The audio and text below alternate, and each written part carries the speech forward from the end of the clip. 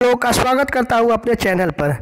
आज बात करते हैं स्टेट रिज़ल्ट पब्लिश करने के संबंध में। हम बात कर रहे हैं उस केस पर जो बहुत सारे परेशान अभ्यर्थी बीएससीबी बोर्ड पर करना चाहते हैं।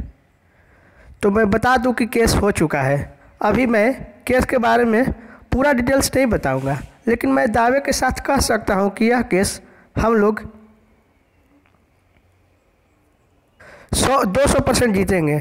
वकील के बारे में इसलिए नहीं बता रहे हैं ना कि बहुत सारे ऐसे अपोजिशन वाले हैं जो केस में अड़ंगा लगा सकते हैं। यहाँ पे हेडिंग दिया हुआ है कि दलाल नीरज के बहकावे में ना आए। तो नीरज कुमार ने एक वीडियो जारी किया है। नीरज कुमार खुद एक बहुत बड़ा दलाल है। वो आपको वीडियो में क्या किया हुआ है कि विद्यार्थियों को बरगला कर चंदा न देने के लिए कह रहा है और ये प्रूफ दिखा रहा है, एक स्क्रीनशॉट दिखा रहा है, जो मैं आपको स्क्रीनशॉट दिखाना चाहता हूँ। वो यही स्क्रीनशॉट दिखा रहा है। तो आप भी बताइए, आप भी पढ़े लिखे आदमी हैं, आपके पास अपना खुद का भी दिमाग है। ये प्रूफ के नाम पर हमेशा व्हाट्सएप या टेलीग्राम जो स्क्रीन रहता है मैसेज उसका स्क्रीनशॉट दिखाता है।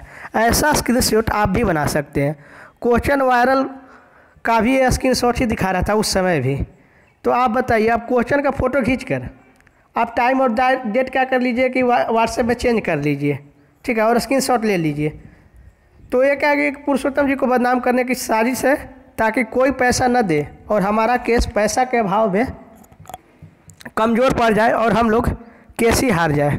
तो मैं आप लोगों से कहना चाहता हूँ कि आप किसी के बहकावे में ना आए और अपनी दिमाग चलाएँ। आपको खुद सोचना है कि आप रिज़ल्ट पब्लिश करवाने के पक्ष में हैं या दलाल नीरज के पक्ष में। फैसला आपका है।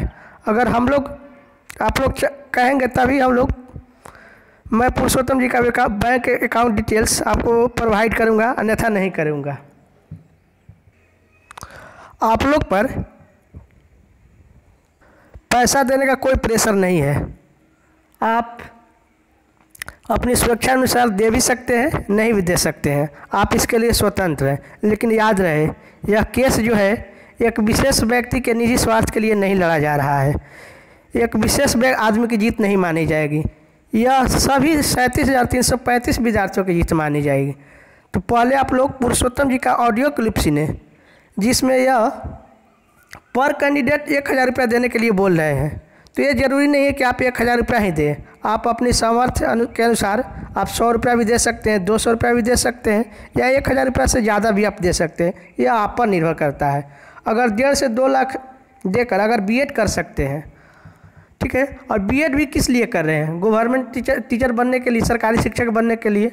अगर जॉब पर ही ऐसा काला ग्रहण लग लग जाए तो उस ग्रहण को हटाने के लिए सौ, दो सौ रुपया तो दे ही सकते हैं। इससे आप गरीब तो हो नहीं जाएँगे। हम लोग यह केस जीतने की दो सौ परसेंट चांसेस है। इस केस को एक छोटा सा, मोटा वकील भी जीत सकता है। क्योंकि बिहार बोर्ड के पास कोई प्रूफ ही नहीं है कि परीक्षा में धांधली हुई है प्रश्न पत्र सिलेबस आउट है। क्योंकि आनंद किशोर खुद बोले थे कि एग्ज़ाम में कहीं भी धांधली नहीं हुई है और क्वेश्चन सभी सिलेबस के अनुसार थे। मैं आपको प्रूफ दिखाना चाहता हूँ।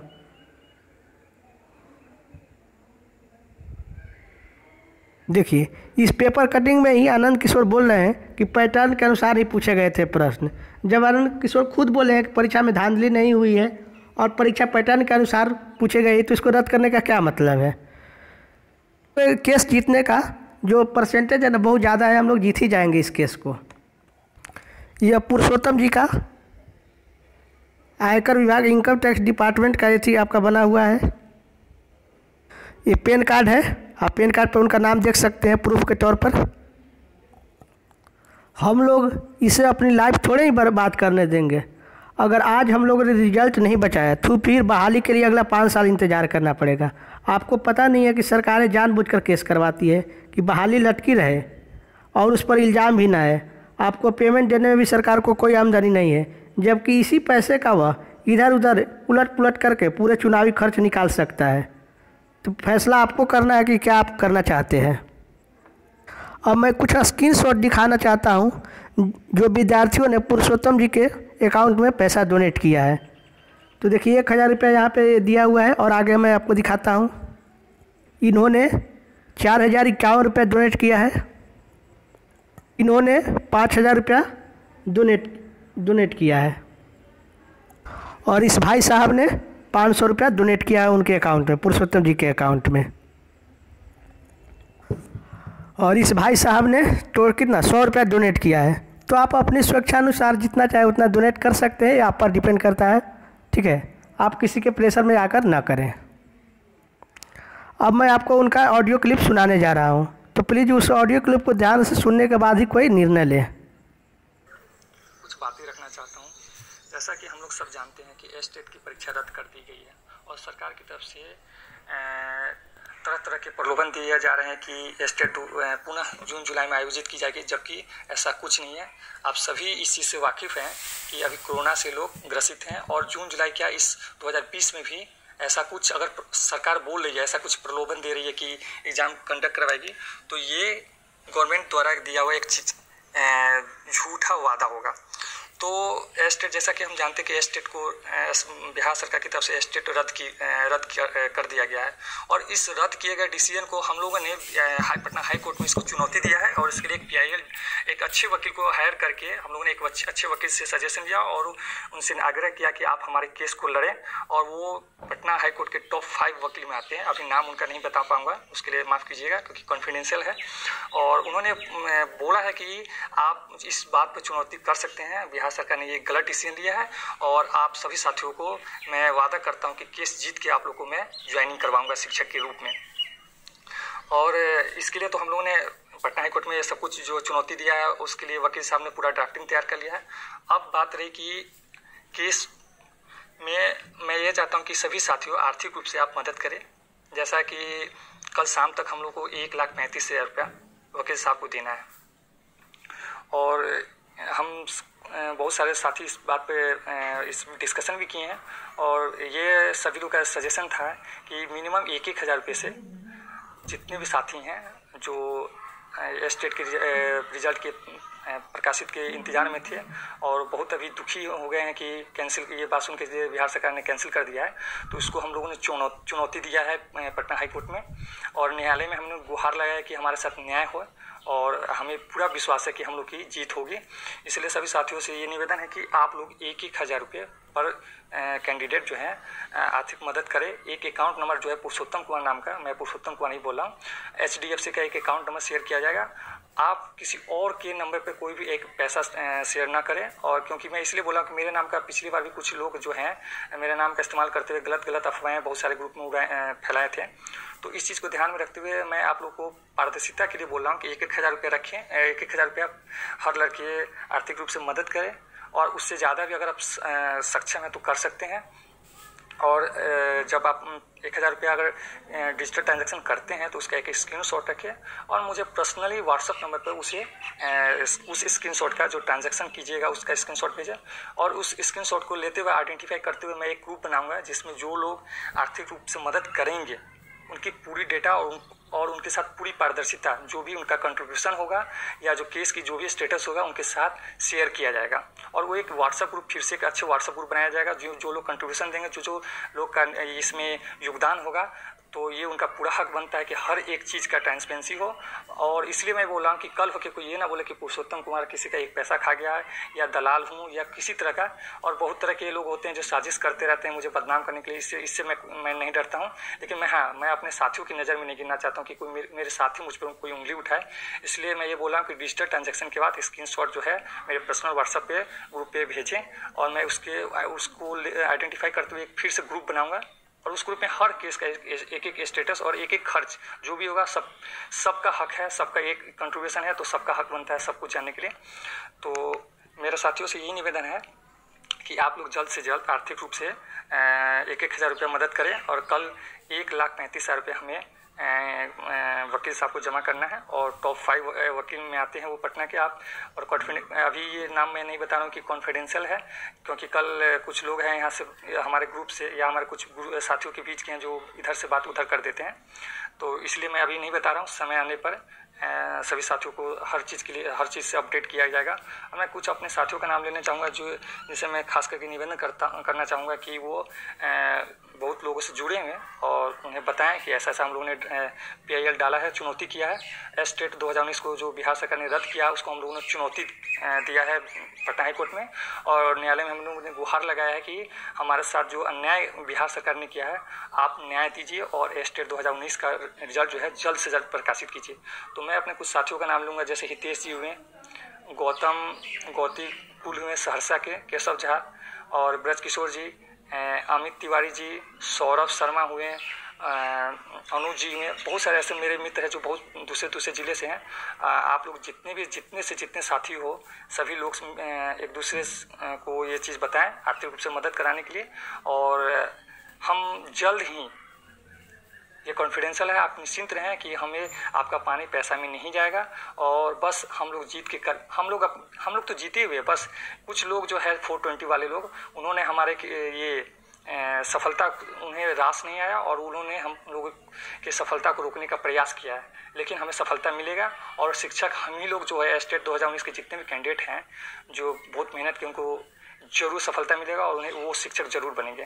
तो हमें हारना नहीं है। हम लोग हाई कोर्ट में एकदम चुनौती दिए हैं। न्यायालय से हमें न्याय मिलेगा और किसी चीज़ की डरने की बात नहीं है। और हर चीज़, एक बार मैं सभी साथियों को ये भी बोलना चाहूँगा कि पूरी पारदर्शिता रखी जाएगी।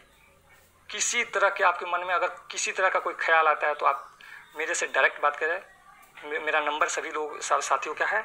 और यही बोलूँगा कि थोड़ा टाइम कम है, लेकिन सभी लोग जो है आर्थिक रूप से आप लोग मदद करके भागीदार बने और एस्टेट का जो रद्द किया गया है बिहार सरकार को, बिहार सरकार द्वारा, और उसे मैं हम लोगों ने चुनौती दिया है, पूरा ड्राफ्टिंग वुफ्टिंग सब कुछ तैयार है।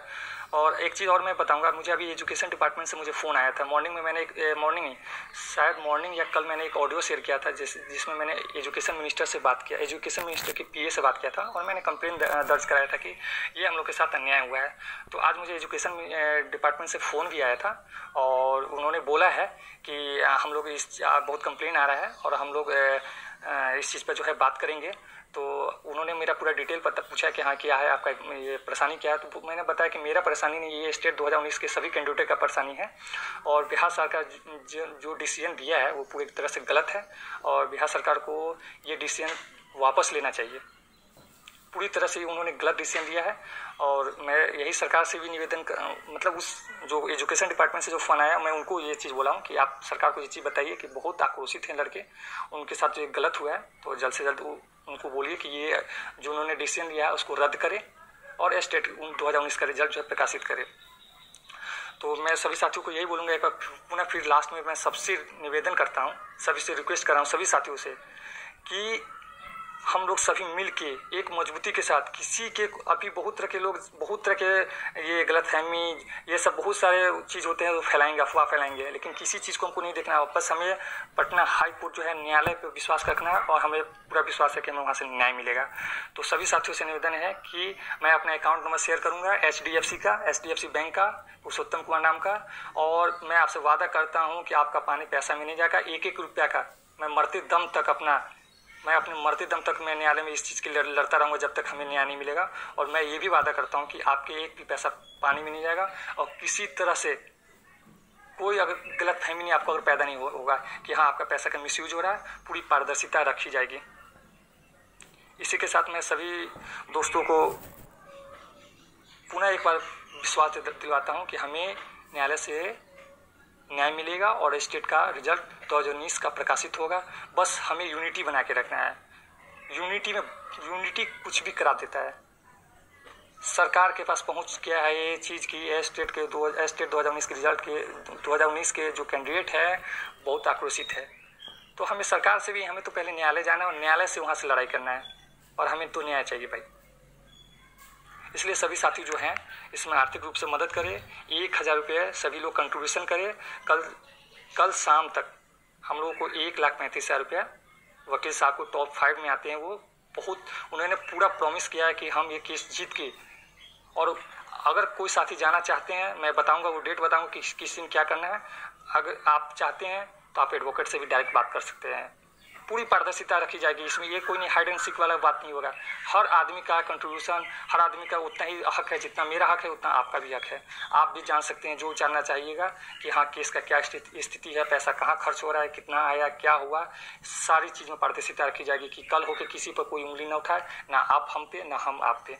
इसलिए सभी साथियों से निवेदन है कि जल्द से जल्द, जितना जल्द हो, आप लोग आर्थिक मदद करें और जल्द से जल्द पुरुषोत्तम कुमार नाम का, मैं पुरुषोत्तम कुमार नहीं बोला एकाउंट नंबर जारी किया जाएगा। उस पर आप जो है आर्थिक मदद के लिए डिजिटल ट्रांजेक्शन करें और उसका स्क्रीनशॉट भी रखें। और मेरे व्हाट्सएप ग्रुप पर मैं एक बार फिर से बोल रहा हूँ कि व्हाट्सएप ग्रुप पर भेजें ट्रांसपेरेंसी के लिए। मैं उसे फिर एक व्हाट्सएप ग्रुप बनाऊँगा। उसमें सारा केस का एक एक चीज़ का अपडेट दिया जाएगा। इसी के साथ मैं बात को ख़त्म करता हूँ। धन्यवाद, सर।